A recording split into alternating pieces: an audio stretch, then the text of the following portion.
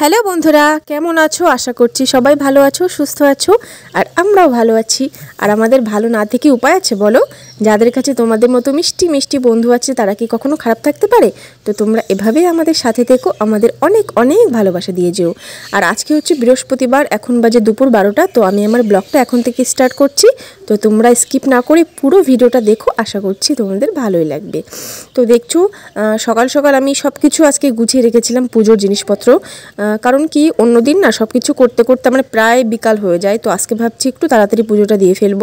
তো সকালবেলা আমি ঠাকুরের মানে ঘরটা সব কিছু মুছে টুছে ঠাকুরের বাসন মেজে গাছের ফুল টুল সব কিছু তুলে রেখে দিয়েছি, যে শুধুমাত্র স্নান করলেই হয়ে যাবে। আর এদিকে আমি বাবুকে খাইয়ে আমি স্কুলেও পাঠিয়ে দিয়েছি, তো আমার এখন আপাতত কোনো কাজই নেই। তো চলো রেডিও হয়ে গেছি, এখন আমি পুজোয় করতে শুরু করি। তো বন্ধুরা রেডি হয়ে গেছে, আর এখন চলে যাব পুজো দিতে, কারণ সব কিছু তো গোছানো হয়ে আছে, আর বাইরে কোথাও যাওয়া লাগবে না। আর আজকে পুজো দেবো যে লাড্ডু দিয়ে। তো আমি চেষ্টা করি সোমবারটা, বৃহস্পতিবারটা অন্য কিছু দিয়ে পুজো দিতে। কারণ প্রতিদিন তো ওদের বাতাসা বা নকুনদানা খেতে তো ভালো লাগে না না? তো ওই জন্য সোমবার আর বৃহস্পতিবার এই দুটো দিন আমি ফল, লাড্ডু, মিষ্টি, সন্দেশ, যা কিছু দিয়ে হোক পুজো দেওয়ার চেষ্টা করি। তো চলো, ফুল টুল তো সব রেডি বাসন মাজাও রেডি ঠাকুরের। তো এখন সোজা চলে যাব পুজো দিতে। আর ওই দেখো আমাদের ঠাকুর ঘর ছোট্টখাটো একটা ঠাকুর ঘর এখন আমরা এই ঘরে আছি তো, ওর জন্য মানে এক কোনাতেই রাখা হয়েছে। যখন আমরা ওই ঘরে চলে যাব, তখন ঠাকুরের জন্য একটা আলাদা ঘর। তিনটে রুম তো আমরা, আমি আমার হাজব্যান্ড বাবু একটাতে আর শ্বশুর শাশুড়ি একটাতে। আর একটা রুম তো খালিই থাকবে, ওটাতে আমরা ঠাকুর ঘর করে নেব। আর তখন মন মতো করে ঠাকুর ঘর সাজাবো। তো এখন কোনো রকমের ঠাকুরটা পাতা আছে। বাবু স্কুল থেকে চলে এসছে। আর ও স্কুল থেকে একটু ভাতটা কিছু খেয়ে আসেনি। এত করে বলি যে স্কুল থেকে খেয়ে আসবি, কিন্তু ও খায় না। তো এই সকালে বেগুন, আলু, ভোলা মাছের তরকারি রান্না করেছিলাম। সেটা এখন থালাতে নিয়েছি, ওকে এখন খাওয়াবো। বাবুকে খাওয়ানো হয়ে গেছে আর এই- যে বাবু আর এই যে স্কুল ব্যাগ তো এখন পড়াতে দিয়ে আসছি প্রায় সাড়ে তিনটে বেজে গেছে। মনে হয় ওর দিদি চলে এসছে তো আমি এখনও খাইনি ওকে দিয়ে এসে তারপরে ভাত খাব। আসেনি? না। আসলেই ভালো। এসে ভাত খাব তারপরে ভাবছি আজকে একটা জিনিস বানাবো। আসলে বাবু অনেকদিন ধরে নাড়ু খাবে বলছিল তো ভাবছি আজকে বানাবো। আমি এর আগে কখনো নাড়ু বানাইনি কিন্তু ট্রাই করব আজকে যে কেমন পারি। দুপুরের খাওয়া দাওয়া সবার কমপ্লিট হয়ে গেছে আর আমিও খেয়ে নিয়েছি। আর বিকালে যে টুকটাক কাজগুলো থাকে সেগুলো এখন করে নিচ্ছি। তো দেখছ, এটোর বাসনগুলো নিয়ে কলপারে চলে এসছি, মাজবো, তারপরে উঠোন ঝাড় দেবো। আর আমার শাশুড়ি তো বিকালে মাঠে চলে যায় ছাগল নিয়ে, আর সকালে তো আমার ঘুম থেকে ওঠার আগে সব কাজগুলো কমপ্লিট করে রাখে, শুধুমাত্র উঠে রান্নাটা করতে হয়। আর এখন আমার পাশে কে আছে বলো তো? আমার হাজব্যান্ড ফোনটা ধরে আছে, তো ওর সাথে আর কি এইসব কথাবার্তা বলছি, আর কি আড্ডা করছি। আর ও কিছুতেই ফোন টোন তো আগে ধরতো না, এখন তো দেখছি একটু রাজি হয়েছে। এখন তো এক চান্সে বললেই ও রাজি হয়ে যায়, যে একটু ফোনটা ধরে দাও তো ধরে দেয়। আর আগে তো সামনেই ভিডিও করতাম না, লুকিয়ে লুকিয়ে করতাম। তো ভালোই লাগে না। সব মেয়েরাই চায় তার হাজব্যান্ড তার কাজে হেল্প করুক, সহযোগিতা করুক। আর এসব ভিডিও করার বিষয়ে না একা একা হয় না। একা একা কতক্ষণ দেখানো যায় বলো? ধরো এক জায়গায় ঘুরতে গেলাম, বেড়াতে গেলাম, সেখানে হাজব্যান্ড পাশে থাকল কিন্তু একটু ক্যামেরাটা ধরে দিল না। তখন কেমন খারাপ লাগে বলো? তো দেখছ, বাসনটা মাজা হয়ে গেছে, ধুয়েও নিচ্ছি, ধুয়ে তারপরে চলে যাব, নাড়ু বানাবো, নারকেলটা আবার কোড়াতে হবে।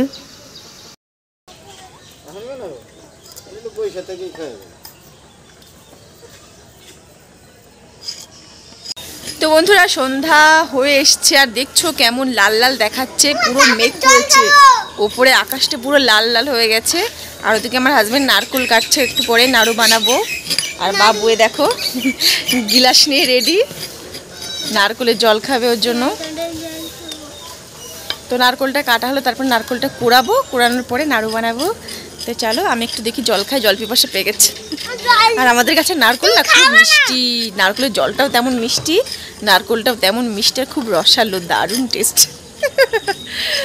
নারকেল কোরানো হয়ে গেছে, আর আজকে আমি একটু অন্যরকমভাবে নাড়ুটা বানাবো, যেভাবে আমার শাশুড়ি বানায়, ওভাবেই বানাবো। তো দেখছ, কোরানো নারকেলের মধ্যে আমি দুটো এলাচ শিলে থেতো করে দিয়ে দেব, আর দিয়ে দেবো একটা তেজপাতা আর চিনিটা দিয়ে দেবো। এলাচ আর তেজপাতাটা দিলে কি হয়, সুন্দর একটা সেন্ট বেরোয়। আর এভাবে ভালোভাবে মাখিয়ে নেব যতক্ষণ না চিনিটা পুরো গলে গলে যায়। আর এই যে এদিকে উনুনটা ধরিয়ে দিয়েছি, কড়াই দিয়ে দিয়েছি, তো এর মধ্যে নারকেল কোড়াটা দিয়ে দেবো। আর দিয়ে অনবরত নেড়ে যেতে হবে, না হলে নারকেলটা পুড়ে পুড়ে যায়। এর আগে একবার বানিয়েছিলাম, সে সময় নারকেলটা লাল লাল হয়ে গেছিল পুড়ে পুড়ে। তো এবার সেই ভুলটা করব না সবসময় নেড়ে যেতে হবে, না হলে পুড়ে যাবে। আর বারবার নাড়লে কি হয়, নারকেলটা সাদা হয় আর খেতেও সুন্দর হয়। তো জানি না কেমন হবে।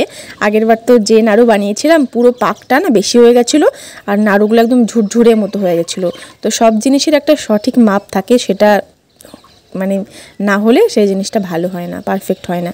তো দেখছ পুরো পাক চলে এসছে, একদম নারকেলের গুঁড়ো গুটিয়ে আসছে ভালোভাবে।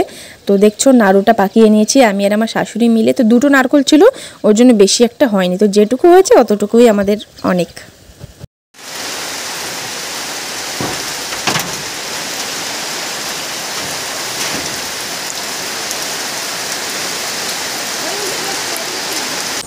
নাড়ু বানানো হয়ে গেছে আর ঘরে এসে এখন একটু শুয়ে আছি। ফ্যানের তলায় প্রচুর গরম লেগে গেছিল। আর একটু আগে তো বৃষ্টি হলো কিন্তু এখন আবার গরম। আর ওদিকে দেখো বাবু বলছে খিদে পেয়েছে খিদে পেয়েছে। দাঁড়া। আর ওদিকে গ্যাসে ভাত বসিয়ে দিয়ে এসছি শুধুমাত্র তরকারিটা হবে। দাঁড়া। না বাবু। এইমাত্র তো নাড়ু খেলি দাঁড়া। আর আজকে রান্না করব সিম্পল করব আলু পেঁয়াজ কুচিয়ে তারপরে ডিমের ভুজিয়া করে করব। আমার হাজবেন্ড বলছিল ডিম আলু সিদ্ধ দাও। তো আমি ভাবলাম যে না একটু ঝোল ঝোল রান্না করি। তো চলো বাবু গায়ে পা দিচ্ছিস কেন? আর ওদিকে বাবু বলছে খিদে পেয়েছি খিদে পেয়েছে ওকে একটুখানি পড়ালাম আবার। চলো তাহলে রান্নাটা করে ফেলি না হলে যদি রান্না করতে লেট হয় বাবু না খেয়ে ঘুমিয়ে পড়বে। তখন আমার আর সারা রাত ঘুম আসবে না। জানো তো ও যদি না খেয়ে শুয়ে পড়ে না সেদিন আমার আর ভালোই লাগে না। মানে এত কষ্ট হয় মনে যে না খেয়ে শুয়ে পড়ল। হয়তো খিদে পেয়েছে হয়তো কষ্ট পাচ্ছে এটা তো চলো তরকারিটা করে ফেলে দাঁড়া এক্ষুনি আসছে বাবা। এক্ষুনি দেবো। এক্ষুনি। তো চলো রান্নাটা করে আসি।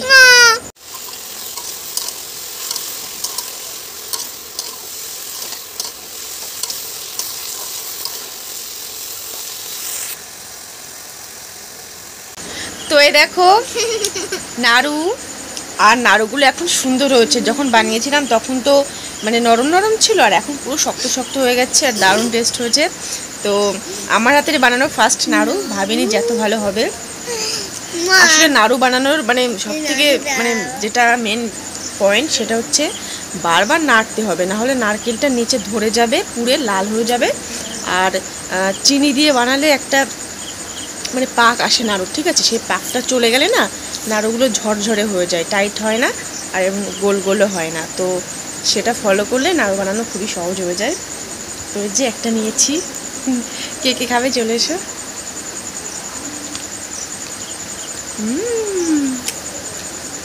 দারুণ হয়েছে।